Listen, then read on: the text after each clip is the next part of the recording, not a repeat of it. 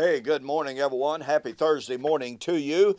Still reading Elijah's book. Boy, good stuff. Anyway, um, welcome back. My name is Don K. Preston. I am the president of Preterist Research Institute of Ardmore, Oklahoma. Now, I'm sharing with you that the language of Matthew 24, 29 and following, the sun being dark and the moon would not give its light, uh, the stars of heaven would not give their light, moon being turned to blood, excuse me, the stars of heaven not giving its light, the powers of the heaven would be shaken.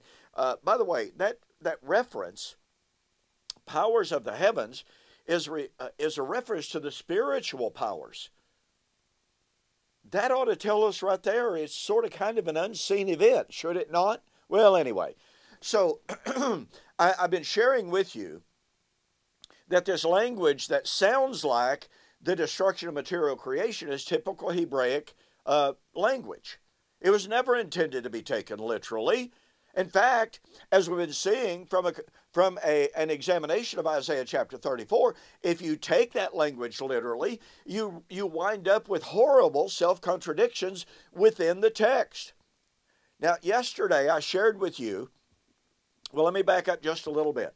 One of my detractors on Facebook called me a heretic and false teacher uh, because uh, Isaiah 34, he claimed, is definitely about the end of time. It may predict the destruction of Edom in verse 5 and following. But verses 1 to 4, since it talks about, quote, all the nations, then it has to be talking about the end of time. Well, I shared with you yesterday that Jeremiah predicted the destruction of Edom. All right? But it also predicted the destruction of all the nations on the face of the earth. Hello? Well, I guess that Edom will have to yet be destroyed. But wait a minute. Here's a hint and a clue. The kingdom, I don't mean the dirt, the kingdom of Edom, which was standing and powerful in the days of Isaiah, which was standing and powerful in the days of Jeremiah and Ezekiel, that kingdom, and oh, by the way, that people do not exist today. They're gone. So, since, quote, all the nations of the earth that dwell on the face of the earth were supposed to be destroyed at the time of Edom's destruction. Oh, and that would be because they drank out of the cup that Jeremiah took out of the hand of the Lord. Oh, and by the way, they would be destroyed by Nebuchadnezzar, the Lord's servant, who would have the Lord's sword in his hand. Okay, next passage that I ask you to read for homework is Ezekiel chapter 30 or 25. Now, in Ezekiel chapter 25, going all the way through chapter 30, and actually 31, you have the major players in the list of the nations found in Jeremiah 25. All right? In Ezekiel chapter 25, and by the way, let me get ahead of myself just a little bit and to point out that in Ezekiel chapter 30, 24 and following, just like Jeremiah chapter 25, 8, and 9 tells us, exactly parallel, Ezekiel chapter 30 tells us it was Nebuchadnezzar, king of the Babylonians, that was going to bring about the destruction of all the nations of the earth. I, I, folks, you can't get any clearer than that. Now, in Ezekiel chapter 25, let's just start, uh, well, you know, verse 1 and 2, the Lord has a burden against Ammon, mentioned in Jeremiah 25. Verse 8, the Lord has the burden against Moab and Seir, mentioned in Jeremiah chapter 25. Oh, now, wait a minute. Hang on here. Verse 12. Thus says the Lord God, because of what Edom did against the house of Judah by taking vengeance and is greatly offended by avenging herself itself on them. Therefore, so, th- thus says the Lord God, I will also stretch out my hand against Edom, cut off man and beast from it, make it desolate from Teman, and Dedan shall fall by the sword. I will lay my vengeance on Edom by the hand of the people of Israel, that they may do in Edom according to my anger and according to my fury, so that they may know my vengeance, says the Lord. Well, then, in chapter 26, 27, 28, 29, and 30, we have the prediction of the destruction of the very nations listed in Jeremiah 25. And let me once again make the point.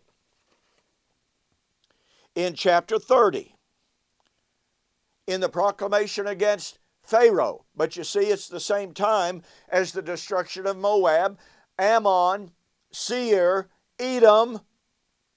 Notice this I will strengthen the arms of the king of Babylon, put my sword in his hand. But I will break Pharaoh's arms. He will groan before him with the groaning of a mortally wounded man. Thus I will strengthen the arms of the king of Babylon, but the arms of Pharaoh shall fall down. They shall know that I am the Lord when I put my sword in the hand of the king of Babylon, and he stretches it out against the land of Egypt. Egypt. Oh, but it's not just Egypt, it's also Edom. Now, notice back here in chapter 25, he said he was going to destroy Edom because of the violence that they had done to, the, to Judah. Well, in order to understand that,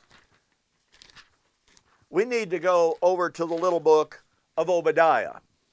Uh,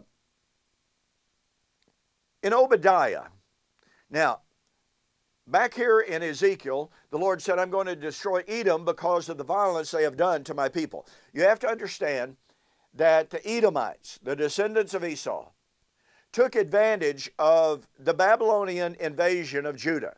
There were three invasions of Judah 606 BC, 597 BC, and the final destruction in 586 BC. Somewhere between the very first invasion and the last destruction, the Edomites took advantage of the Babylonian invasion and began to plunder, to rob, to kill, and to murder the inhabitants of Jerusalem as they fled. And so the Lord was saying in Ezekiel chapter 25, because of what they've done to their relatives, to their kin, to their blood. I'm going to destroy them. Now, we need to look at the book of Obadiah. Now, remember, folks, I'm basically still answering two things. It is the language of the destruction of all the nations, is the language of cosmic destruction, is the language of the coming of the Lord to be taken literally, or is it metaphoric? we have already seen that the language of the destruction of Edom sounds like the destruction of heaven and earth. And it's the day of the Lord's vengeance. In Jeremiah 25, it's the day of the Lord, the coming of the Lord, with a shout. It's the descent of the Lord's arm out of heaven. It's the time in which the cup of the Lord is given to the nations. And the nations drink the cup of God's wrath. Oh, but Nebuchadnezzar was given God's sword to destroy all the nations on the face of the earth. Now, if that's not hyperbolic language, I don't know what is. All right? Obadiah. The Lord addresses Edom. And the word is not good. Verse 2 Behold, I will make you small among the nations. Now, please, again, keep in mind that from Isaiah 34 to the time of Jeremiah, pardon me, Jeremiah 25 to the time of Ezekiel, Edom had never been totally defeated. Never had been. Their kingdom was set among the, the mountains and the rocks. Pardon me, the caves, they were considered impregnable, invulnerable. So for the Lord to predict the downfall of Edom was, an, was a major, major prophecy. Okay, verse 2 again of Obadiah. Behold, I will make you small among the nations, you shall be greatly dis- despised. The pride of your heart has deceived you, you who dwell in the clefts of the rocks. Now watch this, whose habitation is high, you say in your heart, who will bring me down to the ground? Though you ascend as high as the eagle, and though, watch this, though you set your nest among the stars, from there I will bring you down. What? Edom made her home among the stars? Oh, wait a minute. What happens if the stars fall from heaven? Yeah, yeah. Why was God going to destroy Edom? Verse 10 For violence against your brother Jacob, shame shall cover you, and you shall be cut off forever. In the day that you stood on the other side, in the day that strangers carried captive his forces, when foreigners entered his gates and cast lots for Jerusalem, even you were as one of them. In other words, you joined with the Babylonians in plundering Jerusalem. You should not have gazed on the day of your brother in the day of his captivity, nor should you have rejoiced over the children of Judah in the day of, of, their destruction, nor should you have spoken proudly in the day of distress. You should not have entered the gate of my people in the day of their calamity. And indeed, you should not have gazed upon their affliction in the day of their calamity, nor laid hands on their substance in the day of their calamity. You should not have stood at the crossroads to cut off among them those who have escaped, nor should you have delivered up those who, who were among them who remained in the day of distress. For, see that connected particle? The day of the Lord upon all the nations is near as you have done, it shall be done to you. Now, wait a minute. Remember, in Isaiah, there was no prediction that the day of the Lord against Edom was at hand. Here in Obadiah, a couple of hundred years later almost, the day of the Lord against Edom and all the nations is near. So we have no time statement in Isaiah 34. Now we have a time statement in Obadiah. And oh, by the way, we've got a very power and powerful, although implicit, time statement in Jeremiah and in Ezekiel because guess what? It was Nebuchadnezzar who was going to destroy Edom. You know what that meant? That meant it was going to happen in that generation. kind of inescapable, isn't it? Well, you know what? I'm basically out of time for this morning. So here's what we have Isaiah 34 Edom and all the nations who dwell on the face of the earth are going to be destroyed. All the cosmos will be dissolved. Earth will be rolled up like a scroll. The dust and the dirt will be turned to pitch. The streams will burn day and night forever. The wild animals will live uh, there in the ruins of Edom as Edom burns day and night forever. So the question, therefore, becomes Has the prophecy of Isaiah, was the prophecy of Jeremiah 25, was the prophecy of Ezekiel 25, and was the prophecy of Obadiah, which Jeremiah and Ezekiel and Obadiah teach us was near. It was not hundreds of years off. But was it fulfilled? I'll tell, I tell you what. Read Malachi chapter 1,